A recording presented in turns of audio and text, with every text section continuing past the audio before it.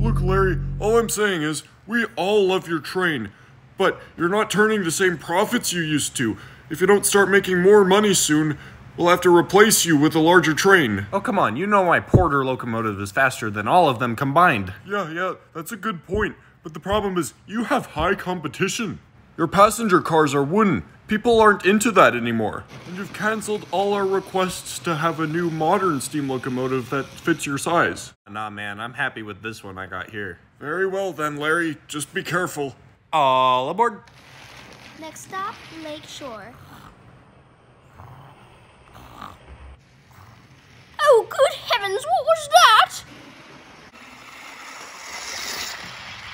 Speed up, fireman. The flyer's coming through on our end.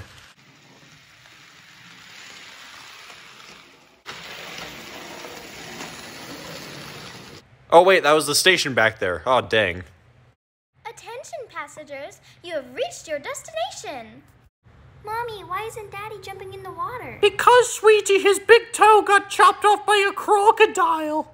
Look, Mother, I swam all the way to this island. Very good, sweetie. Now conquer the Midwest. Paul, there's no crocodiles. You should be fine. Oh, oh, honey, give me about five more minutes. Hello, hello, hello. What's all this then? Not you again. You're still supposed to be in Vancouver. Oh, lordy, I'm just popping in for a quick minute. Well, I see you still have that little pipsqueak of a steam train, if you can even call it that. I mean, look at mine. Mine has twice the number of whales as yours and has much slicker couches as well. Well, why don't you come down here and I'll show you what's what? Why don't you make me come down there and I'll show you what 400,000 Look, tons George, is like I know a rotting thing or two about pack. running a railway. You know, You know, I've been on money this I can railway for off 20 and a half line? years. I bet I I've can been make going twice in the the number of revenue one with week Canada without and screwing India. up. Shut up! We're going to Macca's. Schedule says we're supposed to be there by now. You go, Mommy. Yeah, she's right. All aboard. Well, I'll let you get back to your slow show now. Your passengers should know we give much better service than you. You guys have air conditioning? Well, we've got loads more than air conditioning, little boy. We have seat warmers, hand warmers, and a better steam locomotive. What did you call my daughter? You're gentleman. That's it. Drive away, you hunk of eye burners. Well, Larry, looks like you managed to turn a profit today. Good job, and good night.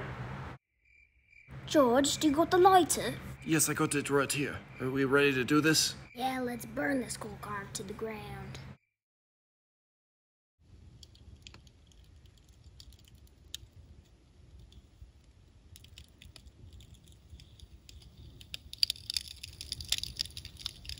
What kind of heartless monster would do this to such a poor innocent soul? I bet George is sure to replace us now. Nonsense. I bet you could maybe fix the tender over the weekend. No, George is definitely gonna make a bigger profit than me.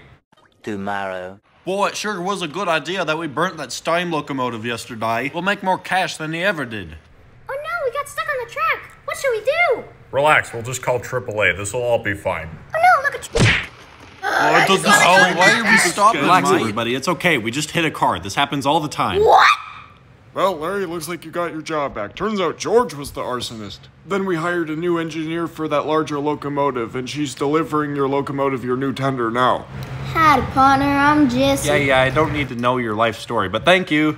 Do you want me to take this back? Yeah, yeah, and bring back a Coke while you're at it. Larry.